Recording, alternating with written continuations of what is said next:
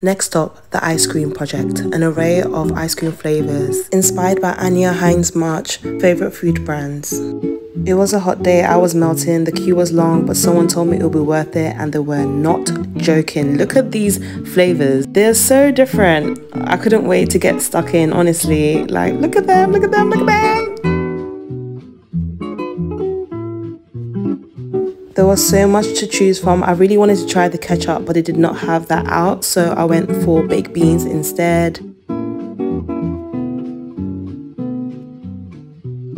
It was pleasantly sweet.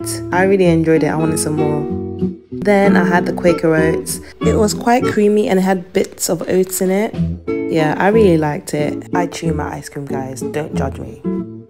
For my final scoops, I had soy sauce and Cocoa Pops because I'm a chocolate girl, obviously, and it reminded me of my childhood. 10 out of 10 experience. With love, Ross Vlogs.